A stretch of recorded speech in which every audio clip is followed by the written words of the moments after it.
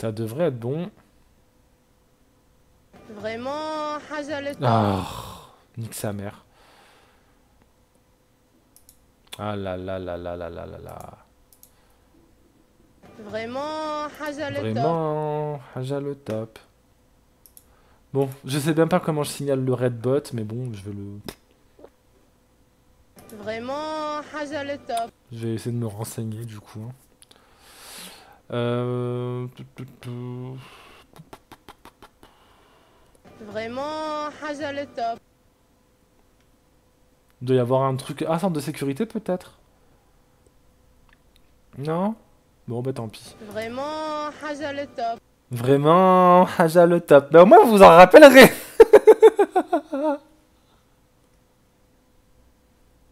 Vraiment, Haja le top. C'est tout ce qu'on aime. Euh, Qu'est-ce que je voulais dire d'autre euh... Vraiment, le top.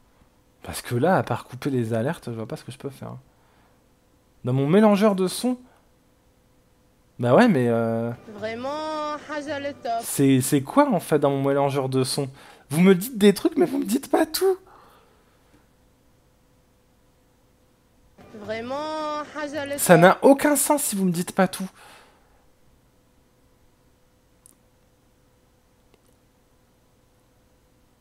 Vraiment, Haja le top. Mais je ne peux pas mute Twitch C'est nul ce que vous me dites Vraiment, Haja le top. Attends, le j'actualise comme ça...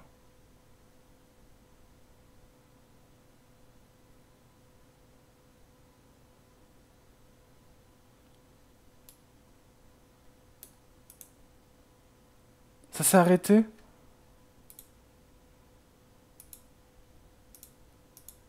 Bah oui, bah j'ai trouvé tout seul en fait. Vous me disiez des trucs, mais c'était pas clair. Vous, êtes vraiment d'une aide euh, vraiment pas haja le top. Hein. Vous avez été mieux aidé dans ma vie. Hein. nique-toi, nique-toi bien. Ah bah d'accord. Nique ton cul. Si seulement je pouvais le faire tout seul. bon, on va, on va la finir cette putain de vidéo. Que je puisse dire que vraiment, vous allez, vous allez en rêver hein, de Haja le top.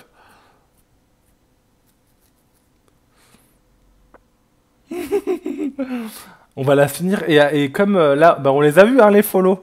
Euh, bah voilà, je suis ravi de vous dire qu'il n'y aura plus jamais de follow goal sur cette chaîne. Ça me rend service. et comme on a, on a dépassé le follow goal, je vais vous faire, euh, je vous ferai écouter la, la musique euh, que, euh, que notre ami euh, il, il a faite pour nous à la fin. Les, les Chinois, les Asiatiques restent entre eux. Ils sont Arrête, j'essaie de m'en enfuir, moi, des follow toujours goals. négatif. Toujours, toujours, toujours. On, on le dit pas pour les Bretons. Oui, mais voilà, mais les Bretons, c'est autre chose. hein, euh, c'est les réactions des autres qui m'ont fait comprendre qu'en fait, ce mot est, est sensible et négatif. Et le problème, c'est que du coup, ça me- me censure, puisque je peux pas parler de ça. Je pense que c'est quand même important qu'on garde ce mot, même si du coup, effectivement, il a une signification euh, péjo- péjorative, parce que à l'origine, genre si je prends l'exemple de certains membres de ma famille, c'est-à-dire que lorsqu'ils sont arrivés en France et qu'ils parlaient pas français, forcément, ils sont regroupés avec des gens qui leur ressemblaient, des gens qui parlaient la même langue, et à la fois, du coup, ils ont pu s'entraider. Ils ont pu, du coup, euh, Bah ceux qui la parlaient base. français, du coup, aider les gens pour les papiers ou même pour euh, acheter une machine à laver. Tu vois, ça paraît bidon, mais en vrai, tu vois, genre, ils avaient besoin de, ce- du coup, de cette communauté, du coup, pour avancer et aussi, du coup, pour permettre à leurs enfants, tu vois, de, de- de vivre. Aruka, toi, tu t'es mis dans le faux. Pour toi, tu te considères pas faire partie d'une communauté euh, asiatique? OMG, monorpal, j'ai lu monoparental, c'est échappé, j'ai besoin de sommeil. Oui, t'as besoin de sommeil. Euh, non, parce que ben, dans ma vie, je ne connais pas d'autres Asiatiques en fait. Euh, après, euh, j'ai des amis japonais, donc peut-être je, je fais partie d'une communauté japonaise, je ne sais pas.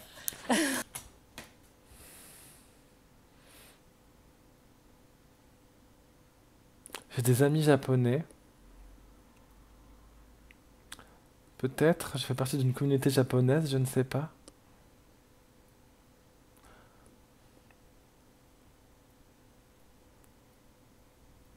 Je ne... Bah oui, ça fait partie d'une communauté. Mais, après, c'est c'est délicat pour elle. Faut se dire que on passe sa vie, elle passe sa vie à entendre que c'est pas bien. Euh, tu, feuille étoile, tu fais euh, point d'exclamation, euh, Poké Help. Elle passe sa vie dans un, dans un, dans un pays où on lui dit que c'est pas bien d'être communautariste, quoi. Donc forcément, euh, elle va pas le dire. Elle le sait, ça, c'est bon. C'est intéressant parce que du coup, comme je le disais avant, j'étais à Lille et du coup, j'avais pas de, même de gens dans ma classe qui étaient asiatiques, donc je me regroupais pas.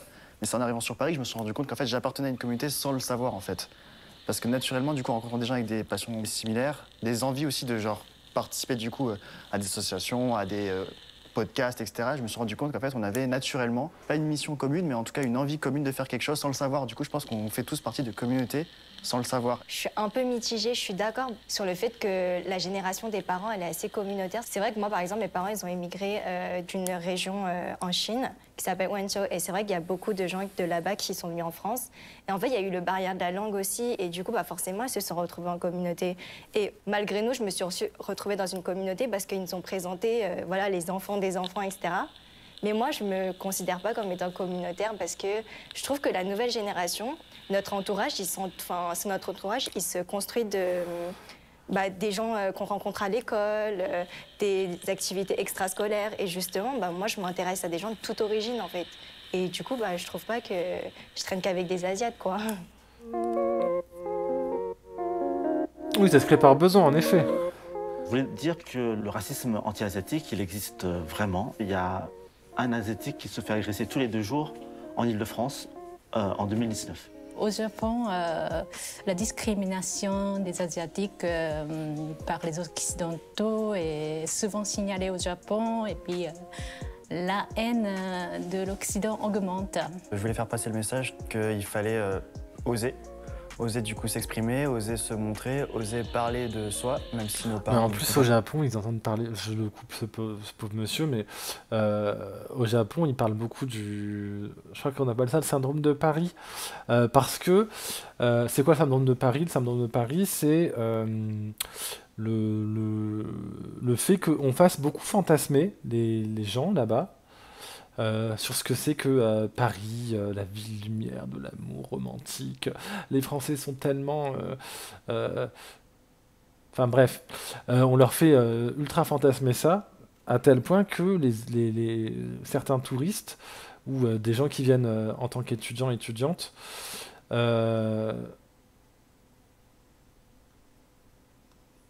en tant qu'étudiants étudiantes, ils arrivent et ils sont choqués. Et euh, genre, s'il y en a un qui se fait agresser, euh, il y en a qui partent en hôpital, en hôpital psy euh, parce qu'ils ont des graves, graves troubles de, de, de, de, genre choc post-traumatique. ils deviennent vraiment très mal, quoi. La différence entre la réalité et le fantasme est tellement intense que ça leur provoque ça.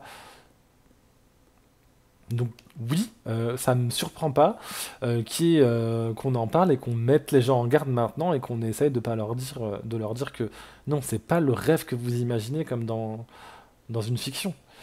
Et Dalsim dit le terme communauté semble être un code pour ne pas dire race. En effet, je fréquente que des blancs. Est-ce que je suis donc de la communauté blanche? Dites-moi si je suis à côté de la plaque. Alors c'est ça veut pas que dire race en fait, ça veut dire groupe. Je pense que ça veut dire groupe social. Euh, si tu fréquentes que des personnes, euh, je sais pas moi, euh, hétéros, euh, alors on va pas te le dire que tu fais partie de la communauté hétéro parce que c'est la communauté genre de base, celle à laquelle euh, on, ne se réfère pas, qui n'a pas besoin d'être nommée parce que elle est, elle est censée être la référence. On va te parler de communauté gay, communauté LGBT, communauté trans, communauté ci, communauté ça. Euh, donc on utilise souvent le mot communauté pour parler de, ouais, de groupe social minoritaire. Plus ou moins... euh, Ah, fermé, c'est pas bête euh, ce que tu dis, Agathon. Parce que tu peux pas... Tu peux pas être de la communauté LGBTI+, bah si t'en es pas. Tu peux fréquenter des gens, mais tu peux pas en être. Ouais, ouais, ouais, ouais. Et là, euh, et c'est, on rappelle aussi que c'est une construction euh, sociale euh, que c'est un, c'est un fait social parce que là, les personnes asiatiques qui viennent témoigner, elles disent être originaires ou avoir des- des- des- de la famille de, de plein de pays asiatiques différents. Et, euh, et même enfin, et, du coup, de loin, on voit une communauté asiatique un peu euh, plus ou moins uniforme. Eux peuvent peut-être, hein, je sais pas, euh, peut-être que quelqu'un dans le chat pourra nous dire euh, si, si, si c'est le cas. Eux peut-être se trouvent une, une, une sorte d'affinité vis-à-vis de l'extérieur, mais évidemment, s'ils ont des parents de pays différents, vont voir des différences et vont, euh, il va peut-être y avoir aussi des trucs, des, des- des sous-communautés, sous-catégories, euh, le sous étant pas euh, un genre un- une manière de, d'insulter les, les subdivisions, voilà plutôt. Euh, peut-être que voilà, il y a ça aussi qui, qui, qui existe. Euh, je sais pas où je voulais en venir non plus. Euh, je vais essayer de, de reprendre le fil de ma pensée. Euh, donc c'est surtout oui par rapport à l'extérieur, oui. Ah, j'ai perdu le début de ce que je disais, ça, ça reviendra peut-être, je suis désolé. Donc oui, groupe social minoritaire, par rapport à, euh, un- une norme euh, majoritaire et dominante. Ah oui, et je disais, et c'est une construction sociale, ça se voit aussi euh, en ça que la personne japonaise qui est là, alors je sais pas si elle est, très représentative ou pas, mais elle euh, se sent peut-être faire partie d'une communauté japonaise, mais pas asiatique. Donc en dehors déjà du grand truc qui est proposé et auquel euh, les, les autres se sentent appartenir. Je sais pas, c'est une piste. hein. Faut, faut voir. Donc on va, on va terminer. Ben moi c'est à ça, ça me fait penser à ça, euh, le quartier d'Opéra à Paris. C'est un quartier japonais. Euh, Il y a beaucoup de boutiques japonaises, des restos japonais, euh, des librairies japonaises qui sont bien séparées du reste des, des, des- des quartiers asiatiques à Paris, comme Belleville. Euh, alors je sais pas si c'est encore asiatique maintenant, mais moi à l'époque où j'y étais, euh, c'était un quartier euh, considéré asiatique, comme bah, tout, le- tout le 13e, euh, tout ça. Voilà, on, toujours. Où c'était vraiment à Porte d'Ivry, je- ça me disait rien. Voilà, où, où c'est vraiment pêle-mêle toutes les personnes qui viennent de l'immigration euh, euh, de l'Asie du, de l'Est et du Sud-Est. Voilà. très discrets, ont voulu avoir beaucoup de non-dits. D'accord, Agathe. J'espère que ça permettra aux gens de délier leur langue. Je pense qu'en participant en fait avec- à travers cette émission, montrer d'autres visages asiatiques et de dire que voilà, on a nos failles, nos histoires personnelles et de venir à notre rencontre en fait tout simplement et de Et je précise aussi que cette, euh, cette différenciation, elle peut aussi se faire. Alors, je sais pas ce qu'il en est des Coréens. Je connais pas euh, beaucoup de Coréens. Enfin, je crois que je, n'ai jamais connu de Coréens dans ma vie. Euh, mais c'est peut-être aussi la grosse différence qu'on, dont j'ai parlé tout à l'heure entre euh, les euh, fancy et les. euh, alors, les mots, ils sont pas beaux, hein, mais c'est comme ça que je les connais. S'il y a autre chose, dites-moi. hein. Entre les fancy Asians et les jungle. Euh, donc ceux qui vont venir de pays qui, qui sont riches, qui sont puissants, au moins culturellement, et ceux qui viennent, qui ont immigré vraiment pour cause de, de, de, de- genre les réfugiés politiques et euh, les réfugiés économiques. Euh, c'est pas les mêmes que ceux qui sont venus en France pour étudier et qui sont. C'est un peu la différence entre expat et immigré aussi. Donc c'est peut-être pour ça que euh, il y a une une une, un- une différence quoi. Voilà. Oui, c'est ce que je dis, migration nécessaire et choisie. De nous parler pour échanger. Le message que je voulais faire passer aujourd'hui, c'est qu'il faut vraiment pas s'arrêter aux clichés, qu'il faut écouter justement les Asiatiques parce qu'ils ont beaucoup à vous raconter. Bon, elle, elle, elle était gentille, mais euh, elle nous a rien appris, quoi. Faut dire les choses aussi. Elle était gentille, mais elle nous a rien appris, elle.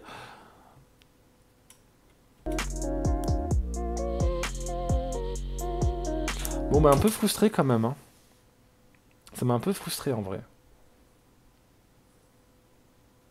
On a fini la vidéo. Je suis un peu frustré.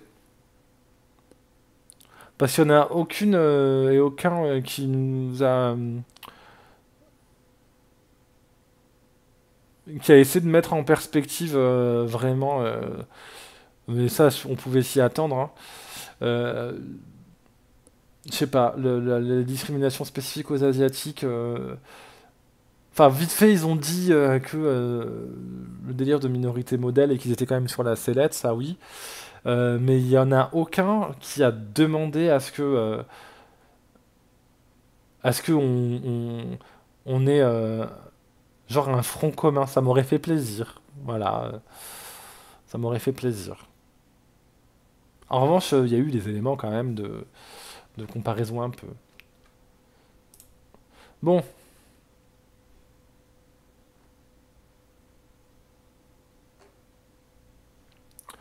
Bon, bon, bon. Euh, tiens, euh, merci pour les personnes qui m'ont envoyé euh, des liens et des trucs pour les, les bots. Est-ce que je vous fais écouter la nouvelle musique ou est-ce qu'on voit ça demain? On voit ça demain? Hein? On voit ça demain? Bah, Kiftara, c'est un bon début. C'est pas, c'est pas, c'est pas, c'est une très bonne entrée en matière. Après, on peut aller plus loin, quoi. Mais c'est cool, ça détend. euh, Enfin, c'est euh, c'est chill. euh, ça explique bien euh, les, différentes expériences et plein de trucs. Mais c'est pas, c'est pas, c'est pas non plus avec ça que tu peux lutter dans ta vie, quoi. Et puis, il y a vraiment à boire et à manger. Vraiment à boire et à manger. Il y a le, il y a le plus inintéressant et le plus faux, factuellement faux, comme euh, le plus euh, pertinent et, le mieux, quoi. Parce que le premier euh, sur les personnes, les personnes queer racisées, il était vraiment, oh là là, le pire, le pire, le pire, le pire. L'émission a été axée sur leur identité asiatique, pas non blanche. Oui, Agathon, oui, évidemment, mais ça m'aurait fait plaisir d'entendre autre chose. C'est tout ce que je disais. Ça m'aurait fait plaisir d'entendre autre chose, parce que ça a un peu débordé, t'es obligé d'en parler. T'es obligé d'expliquer. On s'explique le racisme, t'es obligé. Bon, on va écouter le truc demain, hein. Euh, la musique demain, en, en entrée, en tout début. Euh, en attendant, euh, bah, je vous annonce ce qui va se passer demain. Demain, c'est le mardi, on fait des reacts distordus dans le temps. Ça veut dire qu'on regarde des vieux. En général, je suis pas tout seul. En général, euh, le mardi, euh, on va regarder un vieux C'est mon choix. Et là, ça va, qu'on a pas, qu'on a à peine commencé, c'était celui-ci là. C'est mon choix. Arrêtez de dire que je suis belle. On va essayer d'aller plus loin. Euh, donc je pense qu'on va parler un peu de féminisme forcément. Ça va aller, ça va taper dedans. Voilà. Je vous fais des gros bisous. Est-ce que non, je il a rien à arrêter là. Non, il y a rien à arrêter. Rien du tout. Je vous fais des gros bisous. Je vous dis à demain. J'espère que vous passerez une bonne soirée. Et d'ici là, euh, prenez soin de vous. Bisous, bye bye.